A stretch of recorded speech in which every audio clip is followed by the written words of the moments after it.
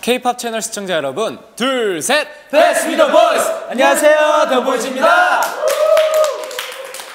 네, 드디어 더 보이즈가 소년으로 데뷔하게 되었습니다. 앞으로 더 보이즈도 많이 사랑해 주시고요. K-팝 채널도 많이 사랑해 주세요. 지금까지 더 보이즈!